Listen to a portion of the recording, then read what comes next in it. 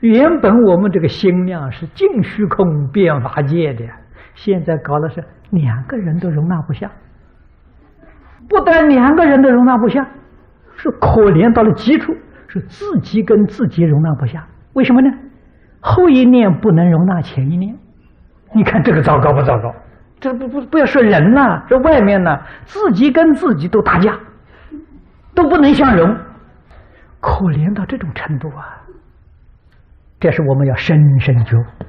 纵然你很善，你多做善事，你也念佛，这个毛病习气要不改，将来呢那就是灌顶大师讲的了。念佛一百种果报，你会到哪里去往生呢？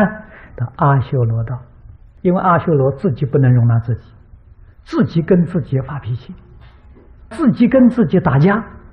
阿修罗啊，念佛念念成阿修罗了，你看。糟糕不糟糕？